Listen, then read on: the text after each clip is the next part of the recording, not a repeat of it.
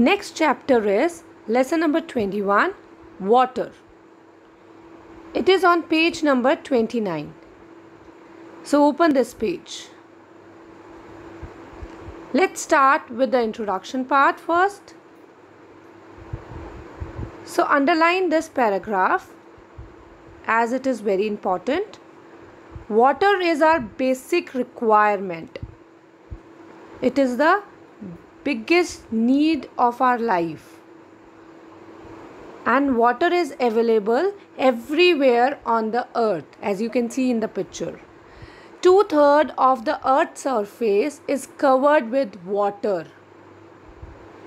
And all plants, animals, and humans have water in their bodies. We need water to live. Also, we have water in our bodies. And we get water from several sources. Now, children, you can write down these question answers in your copy. So question number 1 is what is our basic requirement? That is water. How much of water is present on earth's surface? Two third of earth's surface is covered with water.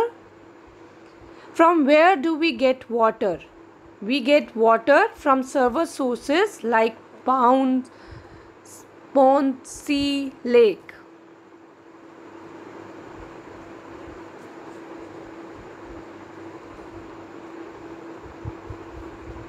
Question number 4. Name some sources of water.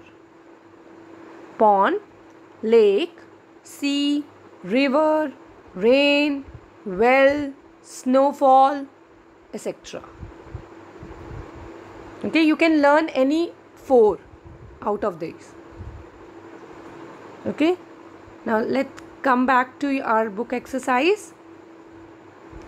In the word grid below there are hidden nine sources of water. Search these names and circle them.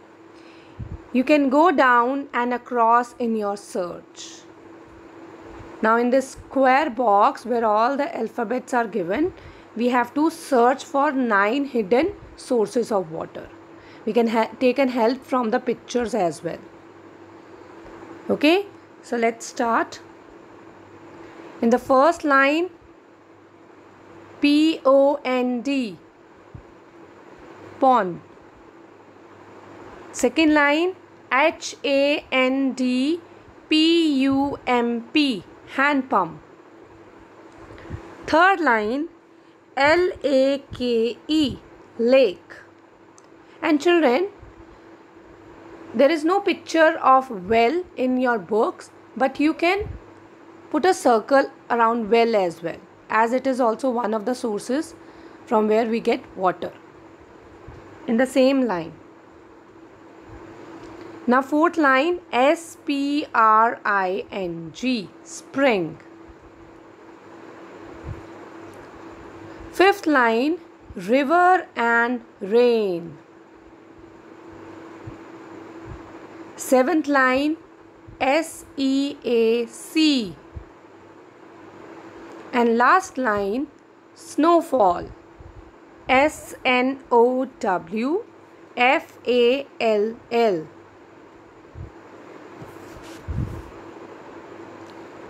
Now, value based knowledge. Children, Water is the fluid of life. No life can live without water. So we must save water to save life on the earth. Okay, water is very precious for us, so we must save water. So write down one more question, question number 5. Why should we save water or why is water important to us? So water is a fluid of the life and no one can live without water. So we must save water.